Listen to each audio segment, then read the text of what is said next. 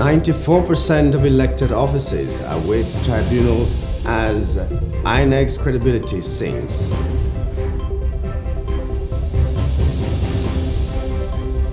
An environmental disaster of plastic pollution in Lagos State. Those are two of the things we'll be discussing this morning.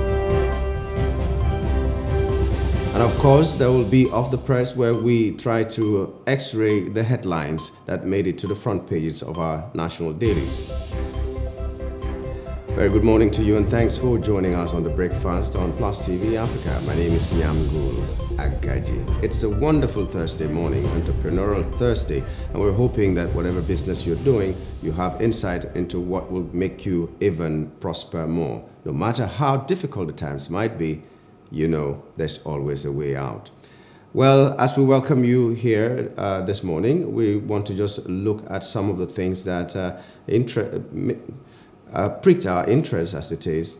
Uh, the Pope has urged efforts to avoid humanitarian uh, catastrophe in Gaza. He made this call on Wednesday uh, for the efforts to be made to avoid a humanitarian catastrophe and expressed concern at risk of a widening of the Hamas-Israel conflict.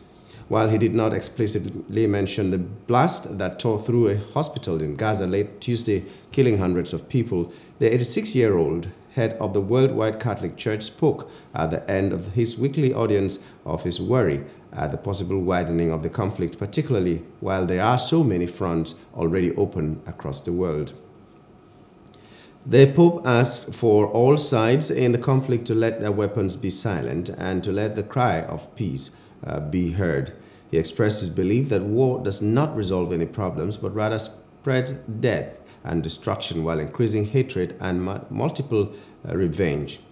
According to him, war erases the future. Now, speaking in front of thousands of people in St. Peter's Square, he urged believers to only take the side of peace and called for a day of prayer, fasting, and penance on October 27, including a gathering in the evening at St. Peter's Square. He invited members of different Christian denominations and other religions to join in. Also, the Lagos State Commissioner of Police Idowu Owohunwa has ordered the removal of the divisional police officer of the Meiran police station in Lagos State over alleged extortion.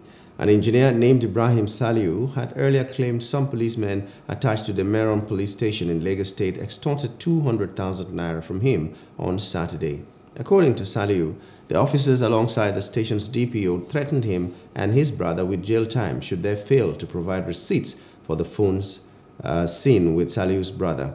He said, and I quote, the DPO took the iPhones, removed the warranty stickers, and declared that my brother and I are thieves and armed robbers. End of quote. In his allegation, Salihu claimed that the DPO gave his officers an order to detain him and his brother for stealing and armed robbery. He also disclosed that he was asked to make a 500,000 naira payment to secure the freedom and after agreeing to 200,000 naira paid in cash per the officer's order. In a tweet confirming the incident on Wednesday, the State Police Public Relations Officer Benjamin Hundeyin disclosed that the CP Lagos had ordered the immediate removal of the Meiran Police Station DPO for leadership dereliction and supervisory ineptitude.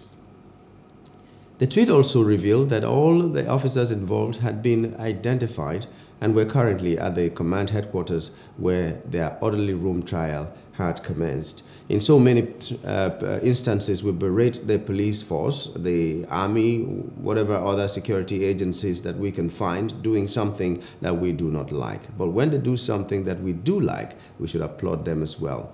This is a good lesson, I hope, and we all hope. Uh, that all other people will borrow a leaf from, all the other officers that extort uh, the citizen will uh, borrow a leaf from here and be in line it is to keep the peace that they were employed to do. It is to keep our territorial integrity that the army was employed to do. And so many other things that the security agencies were employed to do should be the things they should be doing instead of extorting people. Now, there's a common understanding that if you're carrying a million naira, for instance, and you run into a police station and say, I want to be safe, I'm carrying a million naira, you never know what will happen.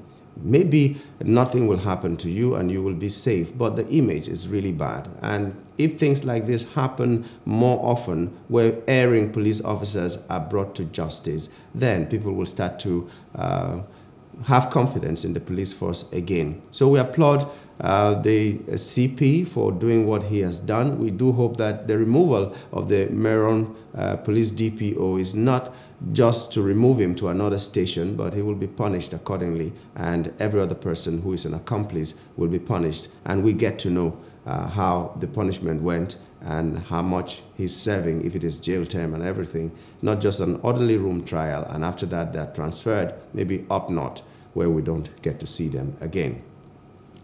The next uh, story that uh, we were interested in is the fact that the Senate has confirmed the nomination of Olukoyede and uh, Hammajoda as EFCC chairman and secretary.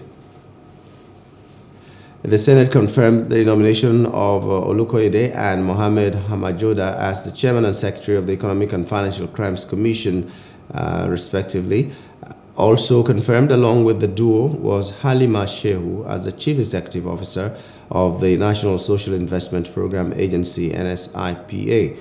Olukoyede was named acting chairman of the EFCC months after Abdul Rashid Bawa, former boss of the anti-graft agency, was suspended by the president.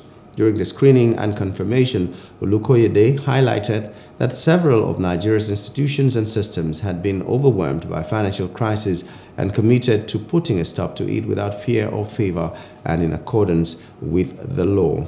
He added that he would prioritize prevention over enforcement. Uh, we wish him well, Olukoyede. Uh, for the past few uh, administrations, as it is, we've seen that EFCC is um, being the chair of EFCC is like sitting on a hot seat. You never know what will happen tomorrow. We have the case of Magu, we have the case of Bawa, we have so many other cases of people who superintend over EFCC being disgraced out of office. And not only EFCC, uh, every promising, I don't know, every every institution where we see people that are very promising and getting results sometimes we see these same people being disgraced out of office. We will never know what these people do to get the results that they get but when we see in public um, in public space that they did X, Y, Z that was not really uh, lawful, and we begin to wonder what uh, happened. We remember the case of Kyari.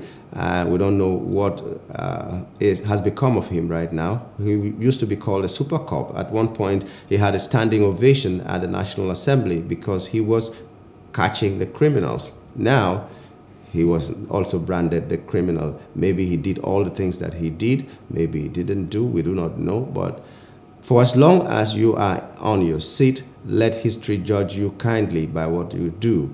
And we do hope that uh, Olukoyede will serve his term, do what he needs to do for the benefit of Nigeria and Nigerians, and then retire or leave the position in peace and without any rancor. Okay, we are going to take a short break. After a while, we'll return with Mr. or Architect Ezekiel Nyaitok as our guest on Off the Press. For now, just stay tight. It's a Thursday morning, and we wish you well this morning.